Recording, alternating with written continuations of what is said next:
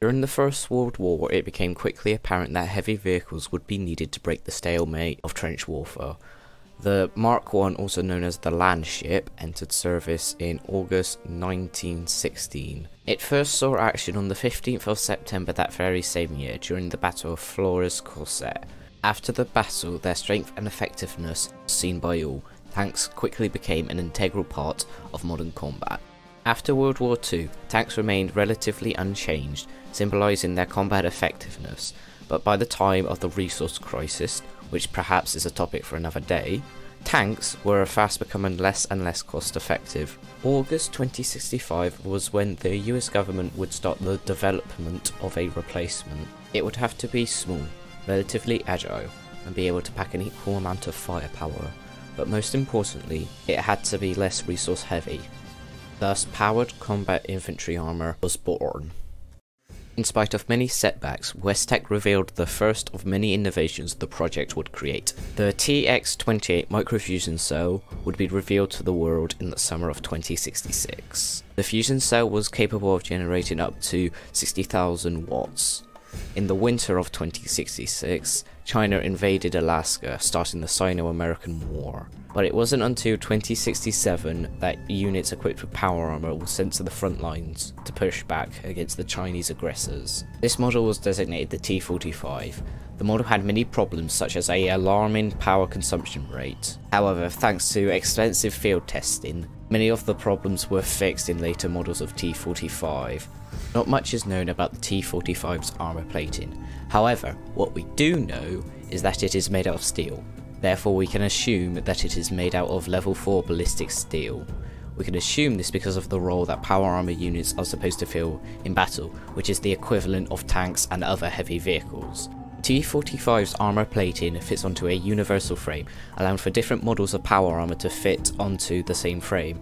However, it is unclear how many post-war variants utilize this frame.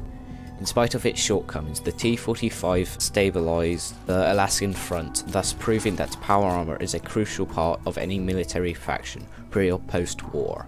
To keep adding to the list of achievements underneath the T-45's belt, the MP-47A prototype medic power armor was a prototype T-45. It closely resembled a T-45D on the surface, but it was no ordinary T-45D. It could administer medics to the user and surrounding troops. As well as administering medics to the user, it also featured an onboard voice module which would sound alerts if it detected an enemy presence. Later power armor frames would only keep the ability to inject chems to the user. By 2069, West Tek had secured a new contract for the development of power armor.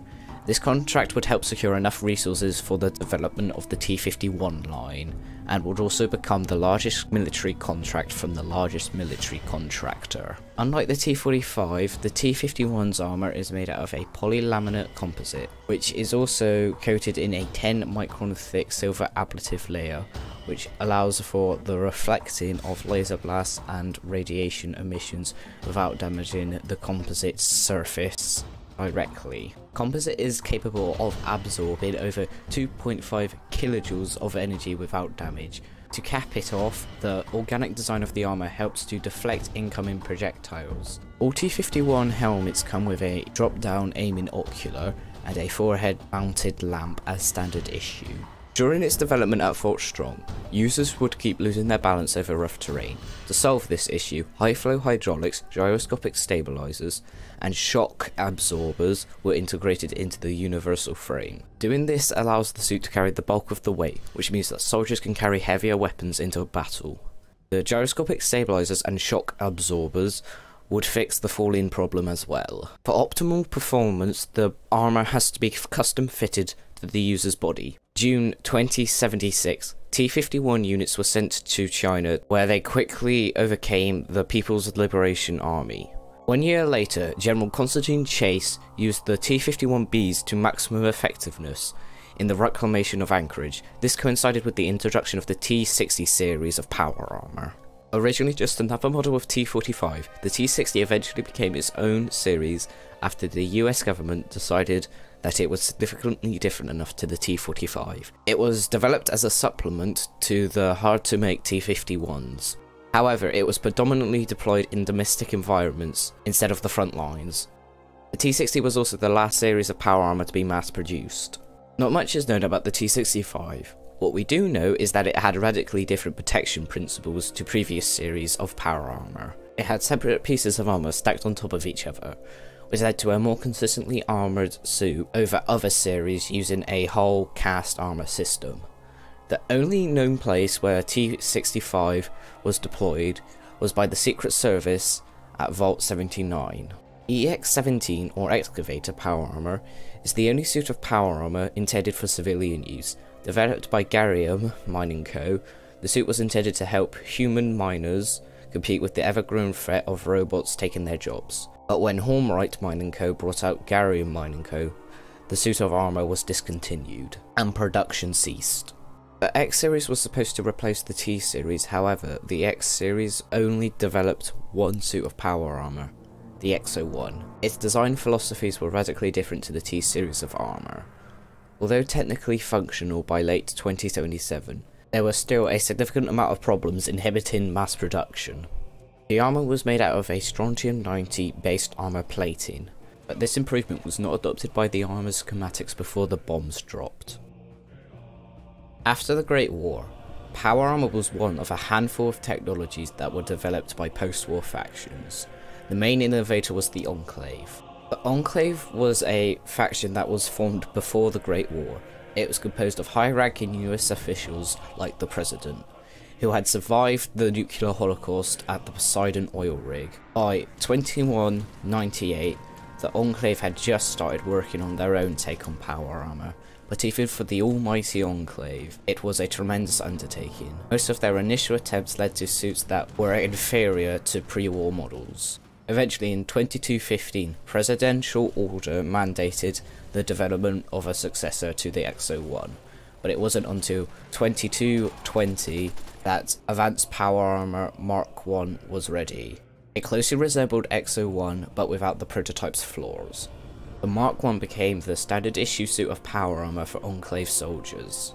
Advanced Power Armor Mark II was developed in 2246. It was supposed to supersede the Mark 1, but thanks to the Chosen One destroying the Poseidon oil rig, this wouldn't happen until 2277. The Mark II is made out of a lightweight composite similar to the T51. Unfortunately for the Mark II, it would not have much time in the limelight, because not too long after the Enclave arrived at Adams Air Force Base, Enclave scientists developed the Hellfire-powered combat infantry armor. Hellfire Power Armor is the most powerful suit of armor in the Wasteland, but before it could become standard issue for Enclave troops, the Lone Wanderer and the Brotherhood of Steel attacked Adams Air Force Base, scattering the Enclave once more.